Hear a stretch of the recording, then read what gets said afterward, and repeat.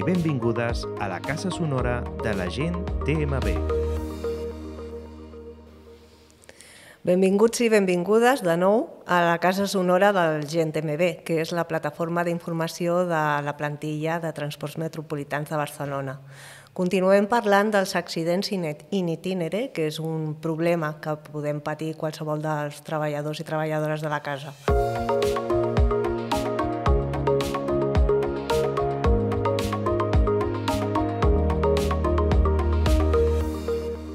La casuística que abordarem avui és les dels accidents que es pateixen en vehicle de dues rodes i per abordar-la tenim amb nosaltres el Roman Montorio, que és conductor de bus i delegat de prevenció. Benvingut, Roman. Bon dia. Eh, Roman, eh, primer, ens pots parlar una miqueta de tu, de la teva trajectòria a TMB i també el que ens vulguis explicar a nivell personal?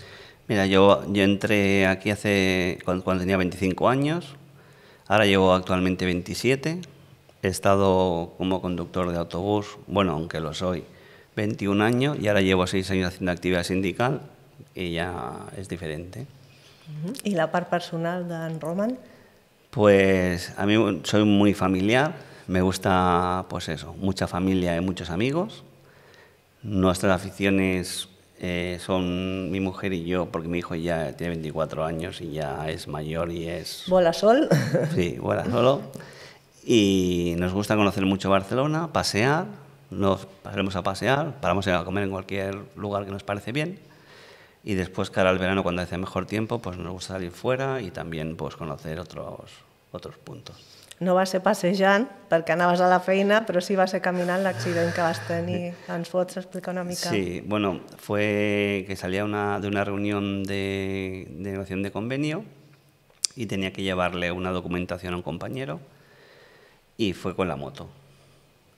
Entonces, pues bueno, fue un poco mala suerte porque llegué a parar un semáforo, era, había, estaban las vías del tranvía, ya con muchos agujeros, ya parado vi algo ya extraño.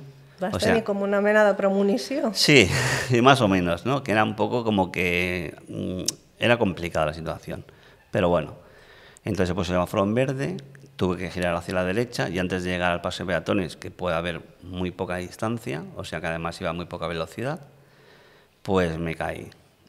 El momento de la caída pensé que no me había hecho nada, porque en principio fue muy poquita cosa, pero cuando fui a levantar la moto entonces me di cuenta de que la dolencia era como mínimo importante.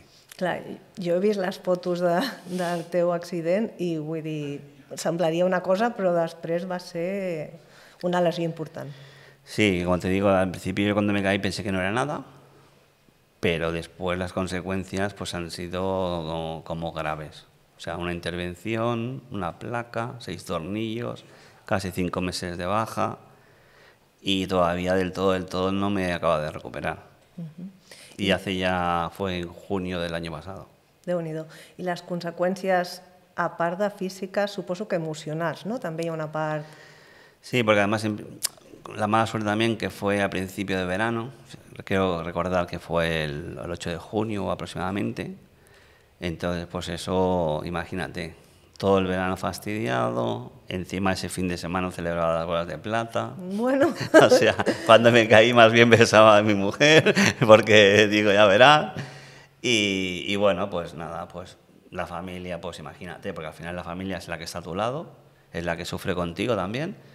Y fue un verano, pues, complicado, porque de entrada sin vacaciones. que ja, Que ja- és un mal començament. I a nivell de feina, et vas sentir que els companys et donaven suport, els caps, vull dir, va ser, van ser comprensius en la situació, tu et senties bé, malament? Sí, no, la- a ver, realmente la empresa, mm, yo no tengo ninguna queja, los compañeros por mi actual trabajo me conocen muchas personas, estoy en contacto con muchas personas, la verdad que los compañeros muy bien, dándote soporte, apoyo, cada uno en su lo que pueda. Y de la empresa, la verdad que no tengo ninguna queja, más bien al contrario, ¿no? que al final es una empresa que tanto el servicio médico como la dirección, como todo, como todo el mundo, al final es- una empresa humana. Con lo qual jo no tinc ninguna queja.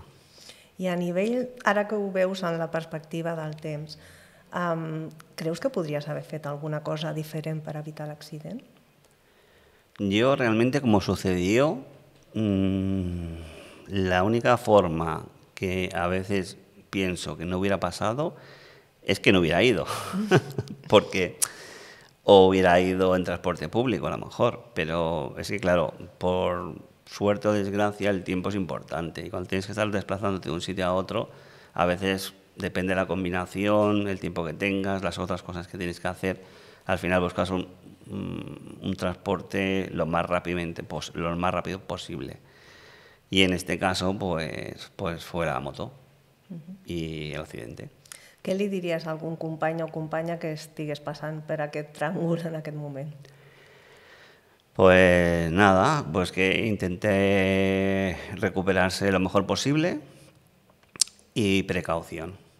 Y como he dicho antes, yo como usuario de, de moto, mm, a mí no me gusta, la utilizo porque creo, bueno, porque me hace falta, pero que el transporte público está muy bien. I perder un poco de tiempo a veces merece la pena. Doncs moltes gràcies, Roman, per acompanyar-nos avui. Uh, aquest és un, ha estat un nou episodi sobre els accidents in itinere i tindrem més, perquè, per desgràcia, és una casuística que ens pot passar a qualsevol de nosaltres. Fins al proper podcast. Gràcies.